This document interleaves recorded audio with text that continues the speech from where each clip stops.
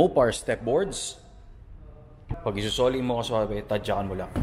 Tow hooks, ang kaya niyang i-carry ay 8,100 pounds para bitbitin ang isang Raptor.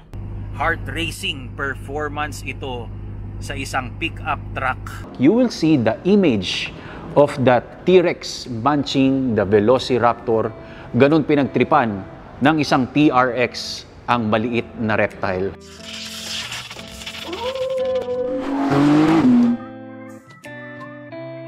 Maswabe, welcome back to the channel kung saan tayo nagre-review ng mga supercars and crazy cars dito sa ating bansa. On today's video, we have here a carnivorous eating machine. Ladies and gentlemen, it's the Ram TRX 2021.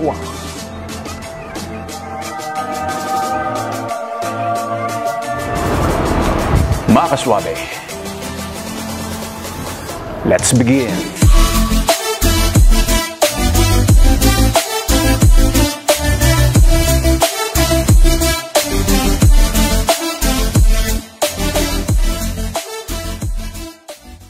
Magandang araw sa lahat. Nice muna natin pasalamatan ang Cats Motors Green Hills for making this video possible para mabigyan natin ng review ang isang T-Rex. And for more information, please contact Ma'am Claire Bautista at meron siyang sasabihin. Good afternoon, everyone. I'm happy to inform you that Ram TRX has finally arrived, brought here by the official Ram Trucks dealer in the Philippines, Cats Motors Inc. Nice ko din pasalamatan ang ating mga channel partners, even Toughman, kasi sila ang nagbibigay sa atin. And if you want 10% discount ka pala, nasa pin comment below, nandyan ang link. And even sa lahat ng mga na-review natin dito sa Dodge, Ram, and Jeep, lahat ng mga units dito and even showroom tour, nandyan rin po ang video link. I-check nyo na lang. Pagpasok ko pa lang kanina sa pinto, nagulat ako nung lumingon ako sa kanan, nag-blackout ang aking mga mata because of its sheer presence. Super full size at magugulat ka, talagang very dominating. Murdered black ang kanyang kulay at talagang mapapangiti ka at magtataka ka paano mo ito ida-drive on-road. Pero ang tindi-tindi na to kaswabe at alam naman natin ang off-road capability na to because this one has that Hellcat engine. Ito nga pala ang tinanghal na Motor Trend Pickup Truck of the Year this 2021 na ginagawa niyang mga kids toy ang ibang truck, yung mga lesser performance. Alam natin kung ano ang ulam nito because this carnivorous machine, kakain ulit siya ng isang reptile. Kilala niyo ba kung ano ang reptile na yun starting with the R? Yan ang kailangan natin abangan. Alamin natin ano ang special feature nito because ang unit price nito nasa 8 million plus. To be specific, nandyan lang po yan sa video link. I-check na lang natin. What will you get? Ano ang exterior feature nito? Ano ang advanced technology when it comes to that very luxurious na interior? At syempre, ano ang off-road abilities nito? Yan ang kailangan mong malaman because pag tumitingin ka sa Ram TRX, this one is super and ultra insane full-size pickup truck. Mga kaswabe, let's begin! bawat panel re-reviewin natin dahil napakaraming special feature ng exterior ng isang TRX. Starting with the hood, ang nakalagay dito, it's super crazy. Yung script na 6.2 liter supercharged. Meanwhile, doon sa Rebel ay 1500, 5.7 Hemi lang ang nakalagay. You have on both sides, fake vents nga lang ito, pero eto yan, yung huge scooping dito, meron ka This allows 50% air passage para sa iyong 2.4 liter supercharger inside the rib cage. Other 50% ay dito naman sa front grills. At ang mapapansin mo, meron siyang 3 marker ambient lighting integrated dito sa huge scoop, sa big bulge na to. Dito rin sa front fender, sa rear, and even doon sa tailgate, may 3 marker lights. Para saan yan? Sabi ng US regulation, pag lumagpas ka ng 79.9 inches wide, dahil ito, 88 inches wide to, yung kanyang uh, kinakain naman ay 86.8. Yung R, yun po yung pinaka-differences nila. Comparison, sa Rebel, solid yung RAM script doon ng mga letters. This one are all hollowed out para siyang iginuhit lang for better airflow. Mukha siyang naka-floating lang sa mga front grills because kinakailangan yung 50% air papunta doon sa makina to achieve that off-road maximum capability. Imagine this is 8 inches wider on both sides. 4 inches nga pala yung dinagdag dito sa fenders at makikita mo functional yung mga air pocket katabi ng headlights na lalabas doon sa massive side vents nitong TRX. Dito sa harap kung makikita mo, hindi mo na kinakailangan mag-install ng mga bull bars because this one are made for every beating off-road. And even on-road, hindi ko lang alam kung ano kinakailangan. Mga cattles daw, mga family ng bulls, kahit mabangga mo, these are all protected. You have five skid plates nga pala, underbody armor.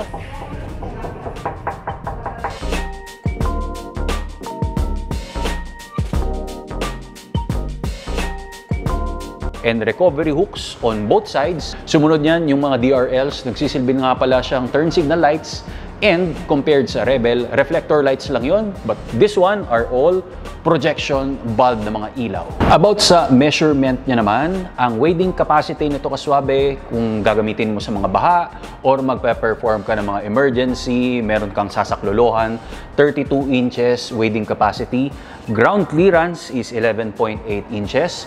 Sumunod naman, ang departure angle nito ay 30 inches, 0.2. Kaya let's go sa kanyang side profile. This one is super flared out ng 4 inches. Yun yung pinaka-big difference niya when it comes sa Rebel. And factory settings nga pala ito, 3 inches na lifted compared rin sa isang Rebel. You have a massive vents dito, tapos ang wheels and tire setup natin, they are using Goodyear Wrangler Territory. Super special nito, all-terrain tires. 325 ang kanyang thickness, 65 and 18 inch naman ang ating wheels. Meron kang option para kunin yung bid lock wheels para raw pag nag-off-road ka, mas better yung grip niya. Hindi hihiwalay yung gulong laban dito sa wheels. Because connected nga pala ito sa mga super enhanced na mga set ng suspension natin, yung mga coil spring dito, even the lower arm. They're using Bilstein dampers. Hindi ko lang masyadong alam ipaliwanag lahat ng mga reinforcement kaswabe. Tapos you have step board, nag-act siya parang rock steel guards na rin. Ang setup naman doon sa likod is kung ano ang meron dito, ganun din doon. Super flared fenders na rin, 4 inches. And makikita mo yung pinaka-box ng Bilstein dampers doon.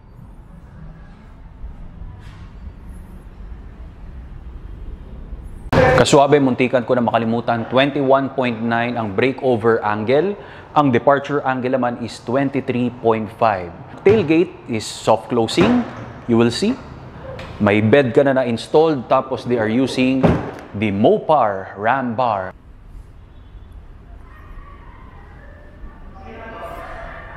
Paghahanapin mo naman ang TRX na badge dito, wala sa side profile, wala rin sa harap dahil puro RAM ang makikita mo. Ito ang TRX. Meron na rin option na meron kang decal ng TRX optional dun sa US. Pero pagdating dito sa Pilipinas, syempre kung ano lang ang pinaka-available. Makikita mo 4 inches wider ito, kaya may bulk dito sa ating rear fender.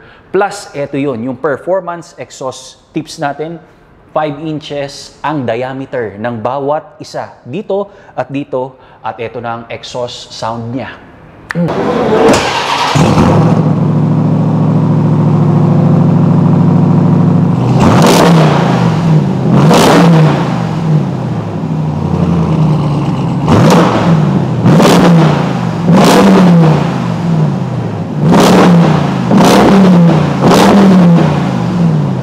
Under the hood, meron kang hydraulic hood struts, good thing. Meron kang chassis stiffness because sa lahat, alam naman natin, this one is an off-road beast.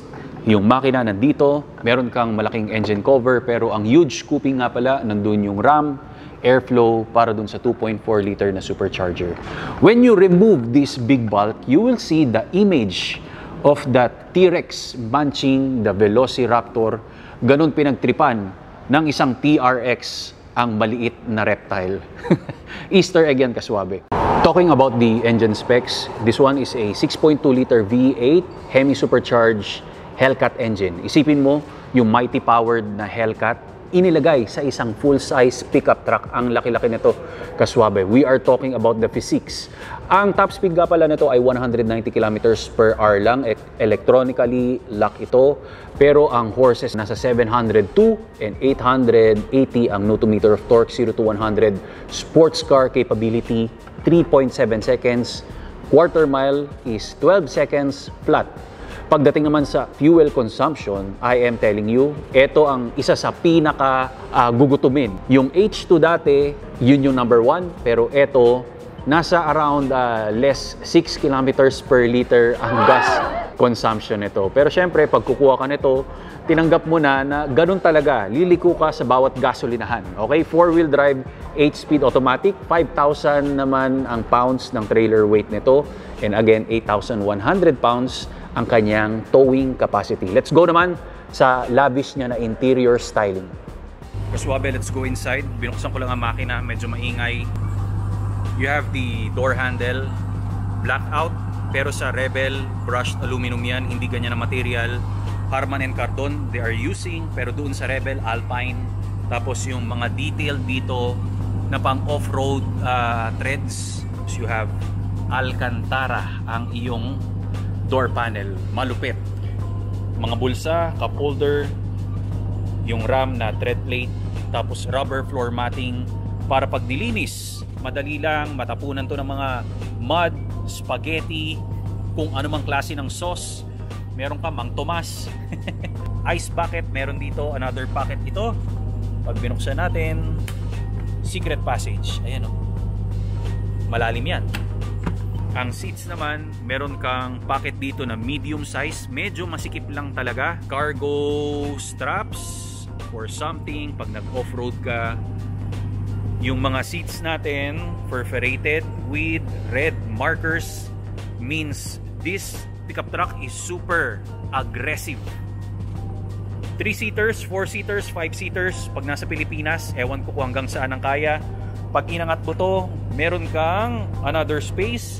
Pag nag-grocery ka, meron ka ritong hook, may sabitan, may taguan ka. Another dito, sa kabilang side, meron ka na namang compartment. Ibaba lang natin. So, let's ride. As you will see, door panel, lights, meron kang hook dito. Tapos, you have a huge panoramic sunroof from driver to rear. Ito ang seat natin. Nasaan ang armrest? This one will transform.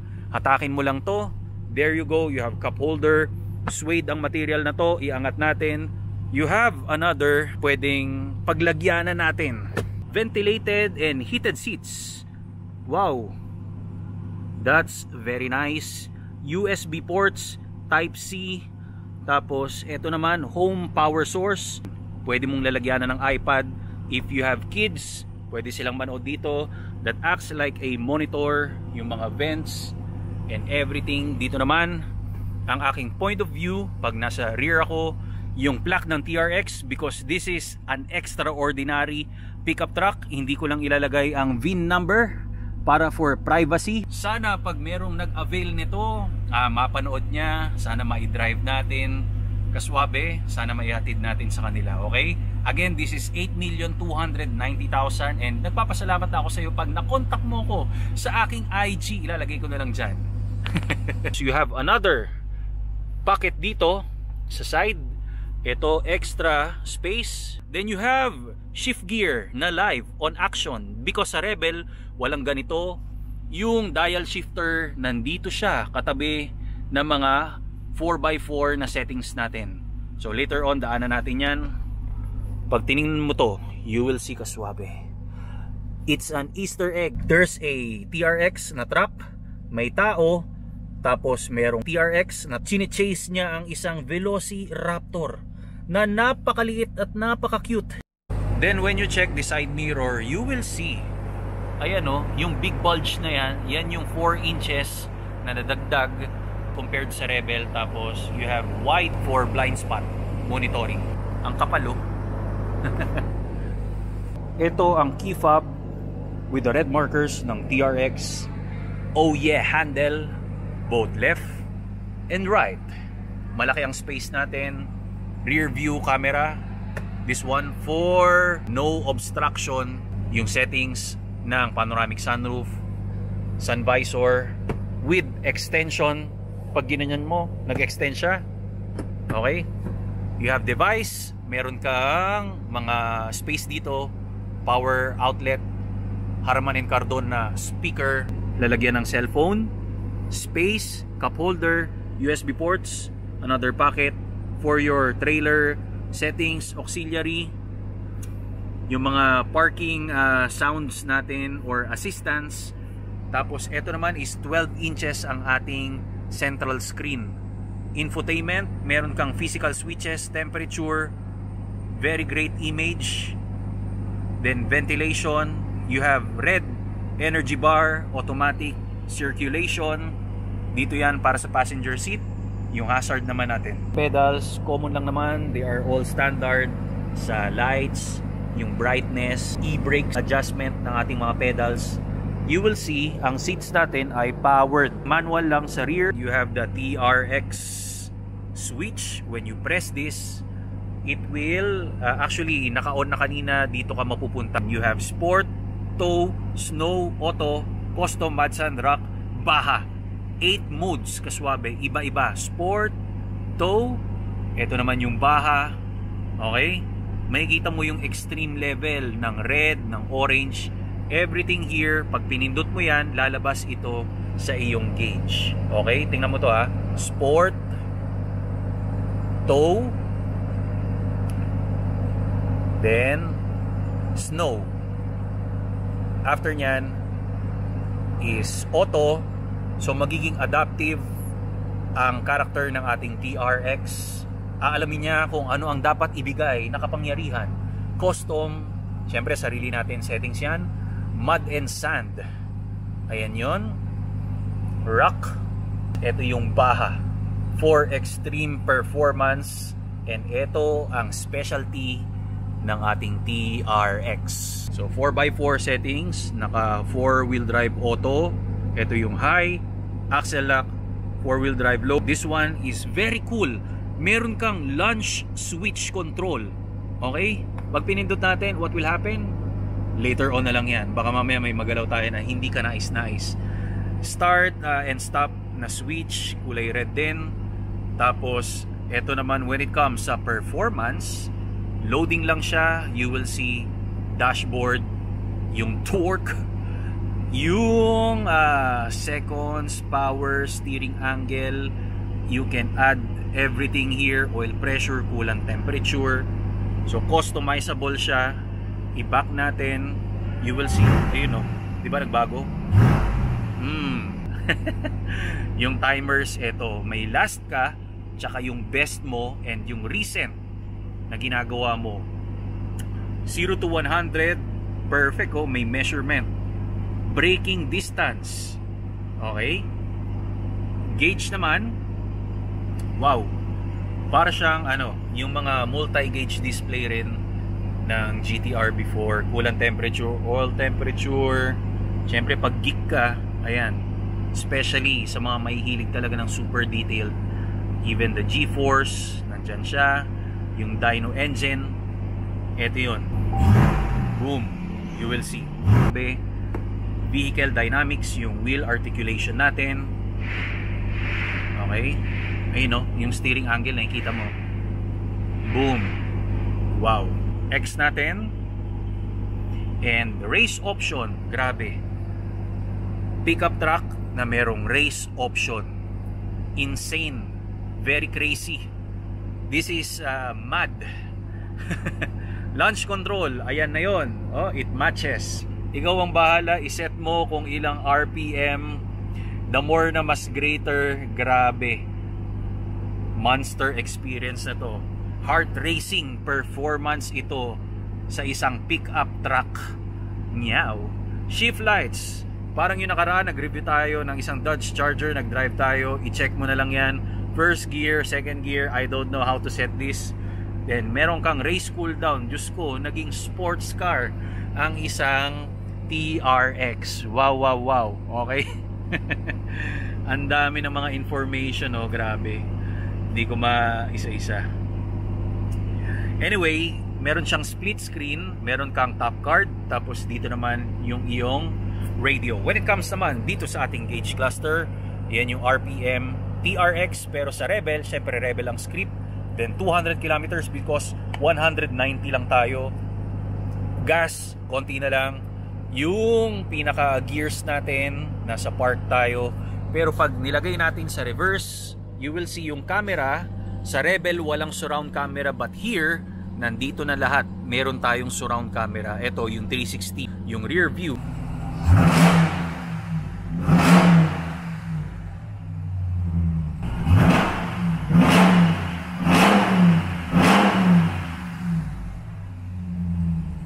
Sa gauge cluster, ganun siya.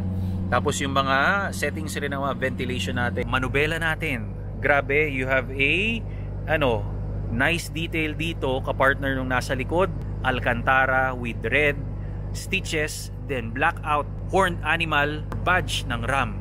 Sa Rebel, brushed aluminum lang na style pero ito mas expensive tingnan.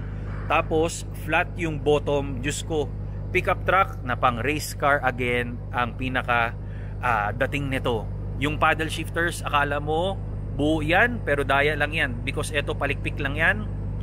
Yung plus, yung downshift tsaka upshift natin. Pero pag titingnan mo dahil sa likod, meron yang switches. Ayan no, nakita mo? Hindi siya kompleto, na-deceive lang tayo.